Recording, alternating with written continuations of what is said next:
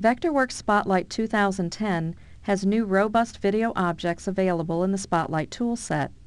The new tools are the Television tool, the Video Screen tool, and the Blended Screen tool, which works in conjunction with the blended projectors.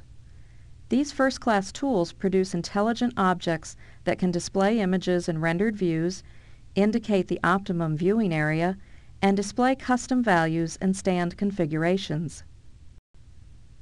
For example, let's take this existing event room layout and add two televisions to the left and right of the stage. In the Object Info palette for the television, you can choose a TV type, which includes flat panel, CRT, and CRT curved. You can also choose the casing, which ranges from 19-inch LCDs to 65-inch plasmas, and add a TV stand if desired. Another great feature is the ability to show the coverage zones for the TV. This option will visually indicate the viewing area covered by the specific television. You can set the coverage zone to display based on height or diagonal measurements.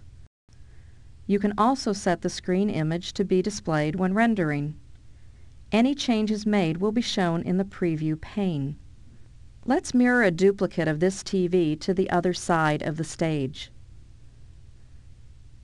Switching to a rendered 3D view, you can see the logo on the screens. As you may have observed, these televisions do not allow the entire audience to view the screens. To solve this, you can try placing a larger TV or you could use a video screen object instead. Once the video screen is placed, notice in the Object Info palette that you have three screen types to choose from, front projector, rear projector, and LED. The diagonal sizes range from 92 inches to 360 inches. Since the projector is not sitting on the floor in front of the audience, we will change the vertical position to be rigged. Additionally, you have options for the projector model, screen legs, and dress kit, along with many other parameters. You can see by the projector's width that everyone in the room can view the video. Let's verify this using the projector's height.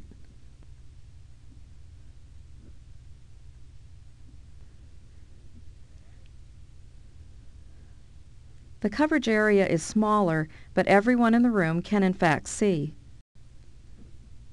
The screens also have display options that are valuable to communicating installation. For this example, let's show the coverage zones and the lens information by changing it in the Object Info palette. As you can see, the coverage zone and the lens information shows on the drawing.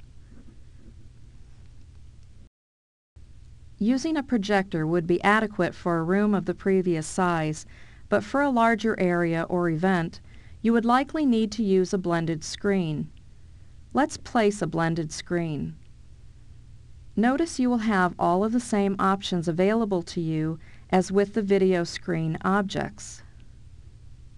Looking at the coverage area for this blended screen, we can see that the whole area is covered according to the screen's width.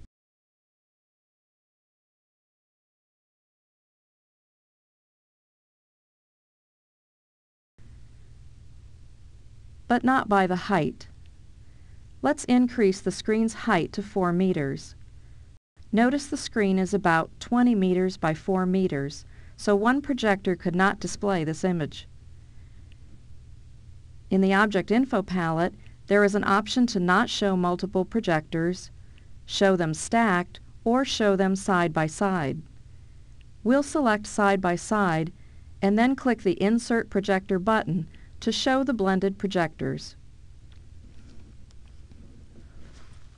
The new video objects in Vectorworks Spotlight 2010 will help you to very easily design, visualize, and communicate your projection needs easily.